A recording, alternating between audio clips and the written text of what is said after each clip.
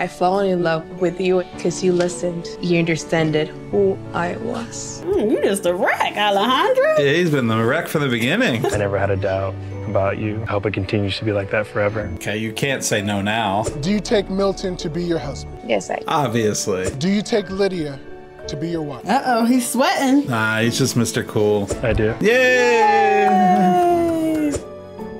didn't tell him who. Yeah, that's right. He didn't say it yet. Not supposed to kiss the bride yet. a wedding ring. Oh, I didn't even get to that part yet. I'm Milton. I, Lydia, Take you, Lydia, take you, Milton, as my wife. as my husband. You crying? Yeah, they'll tear. Me and Alejandro. You and Alejandro are a wreck. You are now husband and wife. You may kiss your bride. Yay, again. Ladies and gentlemen, Alejandro. He's never gonna Yeah. stop crying. I'm with you. I'm with you.